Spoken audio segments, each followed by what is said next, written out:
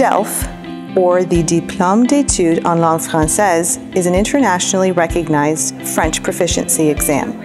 It is based on the Common European Framework of Reference. I think the DELF exam is extremely important for our students. This exam is giving them an opportunity um, to, to receive a certificate from the Ministry of Education in France at a certain level. Here at Durham Catholic District School Board, we are very pleased to be able to offer to our students the opportunity to write the DELF Scolaire.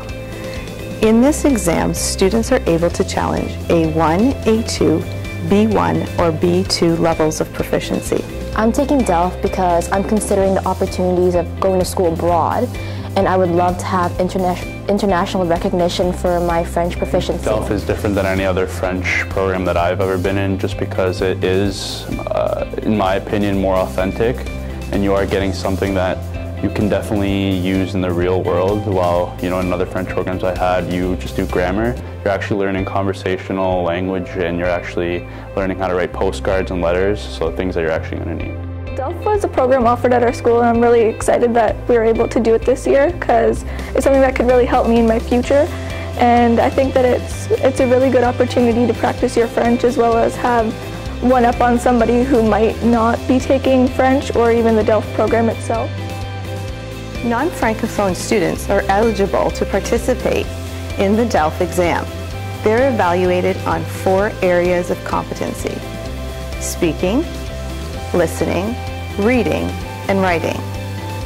The exam is based on the six levels of the Common European Framework of Reference for Languages. When we first heard about the structure of the DELF, it was designed um, you know, focusing a lot on the reading, writing, listening, and speaking. So we decided here at Dwyer that we were going to design our courses like that.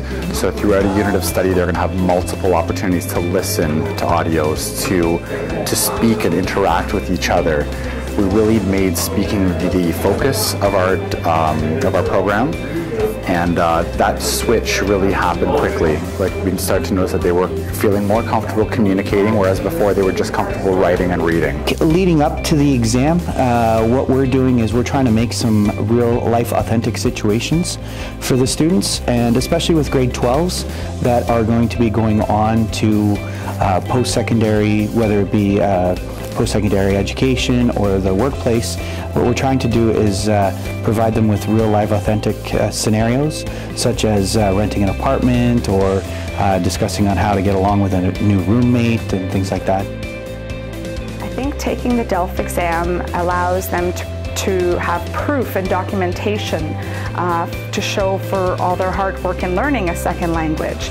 I think that that is something that they can always possess and no one can take it away from them. It's internationally renowned.